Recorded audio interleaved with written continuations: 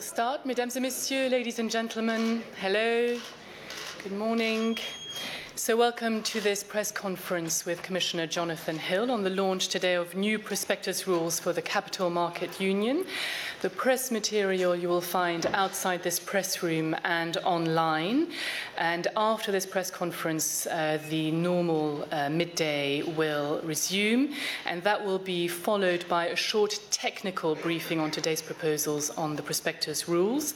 Uh, but just to start us off, Commissioner, if you could perhaps give us a, an overview of uh, what it is that we're proposing today. Thank you. Well, good morning. Uh, today we are, as Vanessa said, publishing a proposal to overhaul the prospectus directive. And my goal, and it's the goal at the heart of the Capital Markets Union, is to make it easier for companies of all sizes in Europe to get funding on the capital markets. And by creating a simpler, cheaper, and faster uh, prospectus regime, I want to help companies that have got good ideas to grow and to create jobs here in Europe.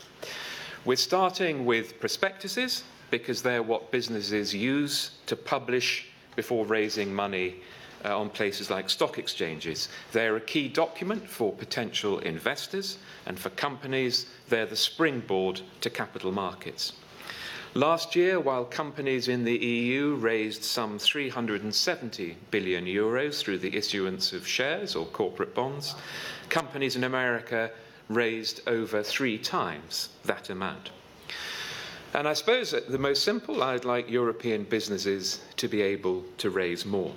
But at the moment, prospectuses can be a barrier, particularly for smaller companies. They can run to hundreds of pages in length here we are, uh, and they can be extremely expensive to produce, costing anything between tens of thousands of euros to a million.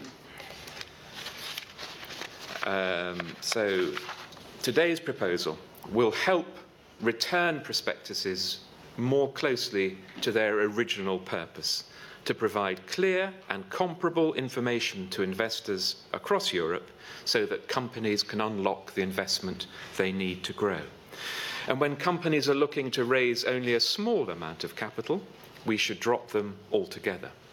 So there are five main areas where we plan changes. First, we're increasing the amount of capital you can raise on EU markets without a prospectus at all. That'll go up five times from 100,000 to 500,000 euros. And if they want to, member states will be able to raise that limit to 10 million euros, which is twice the current threshold. Second, we're going to create a special regime for smaller companies, and this will allow SMEs to produce simpler and cheaper prospectuses.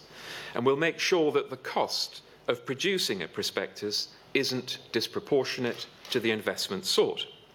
All SMEs with a market capitalization under 200 million euros, up from the current limit of 100 million euros, will qualify for this new regime. Third, we want to streamline the process for companies which have already issued a prospectus and want to raise capital on a repeat basis. And that's currently around 70% of all prospectuses. I don't think it makes sense that you should have to keep producing the same amount of information if you've already done it before. And businesses, once they've made key information available, in future they won't need to provide the whole lot all over again when raising further capital.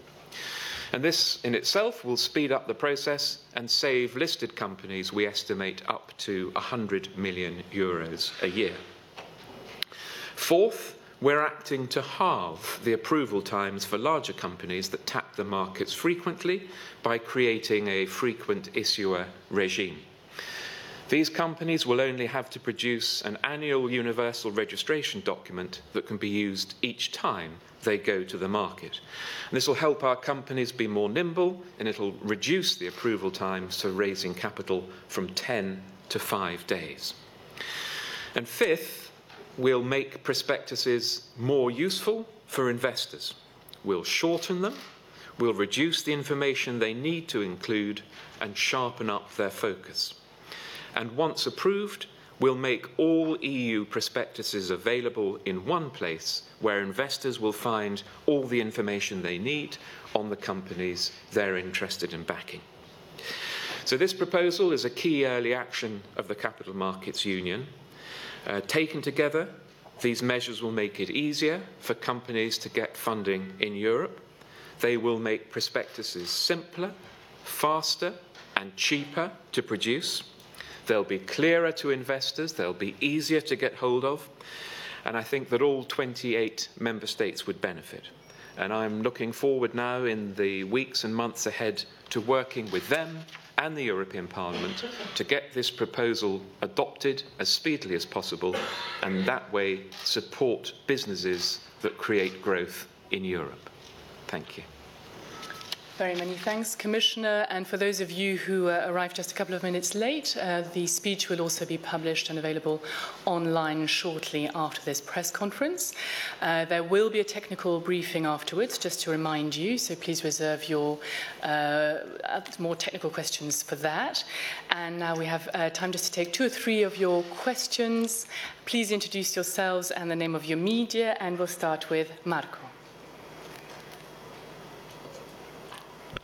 Thank you, Vanessa. It's Marco Zatterin, La Stampa. Commissioner, you said uh,